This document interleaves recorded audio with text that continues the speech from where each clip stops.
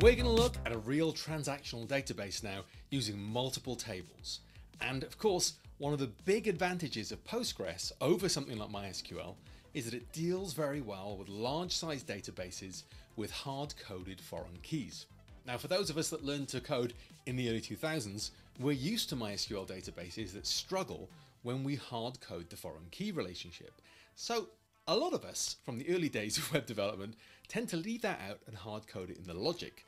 With a Postgres SQL database, it deals with that much better and slowdown doesn't occur for huge database sizes, so feel free to hard code your foreign key relationships.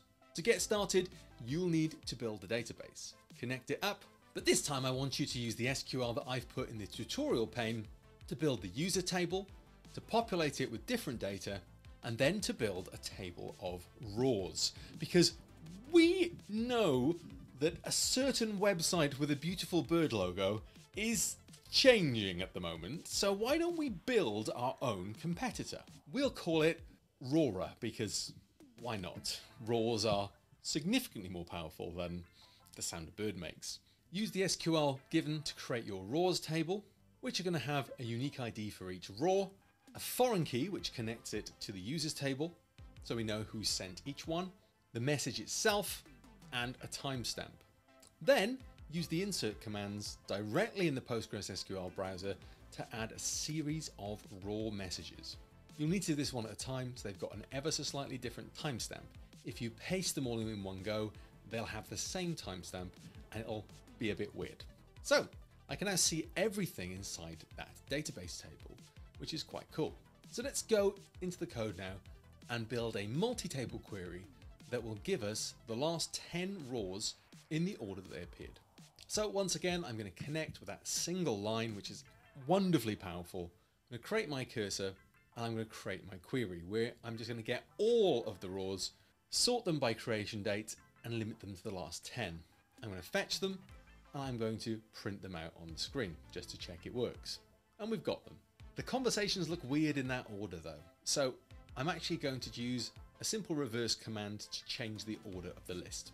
Now I'm going to do it this way because the SQL is going to get the 10 most recent rows and then it's going to show me them in actual chronological order. The SQL command could be written to do that for us, but would be much more complicated. Let's use an F string now to pull out important information. I'm going to pull out simply the user ID of the user as well as the message and print those out. Well, that looks fine, but who knows who user 2 is? Who knows who user 1 is? They've all got at mentions, so let's see if we can display the actual username of the user. This is where we allow nested queries. And I'm going to do it in a slightly different way this time. I'm going to write the SQL, including the percent %s, and I'm going to use percent %s for this because it makes a little bit more sense. And I'm going to use execute and just casting roar, which is an integer, as a string to make it a little bit easier to use in this method.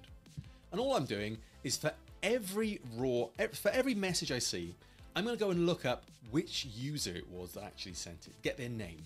Now by doing that, I can also use the fetch one command, which fetches the first result. In this case, I'm only going to get one result, so this makes everything much, much easier to deal with. I'm going to pull in index zero of our results, which is going to give me the name of our user. And there you go, a much more usable format for us to work with. We're now doing a multiple table query as well as doing an inline query. I know you SQL fans are all there going, why didn't you use a join query? I know what a join query is. I'm simply showing you two skills, a multi-table query and an inline query in one REPL. I'm saving you time by teaching you two things in one go.